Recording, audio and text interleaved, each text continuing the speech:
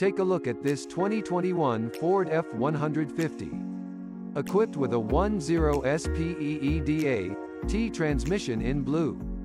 This car comes with some great features including alloy wheels, power windows, anti-lock brakes, backup camera and more. Come in and check it out today.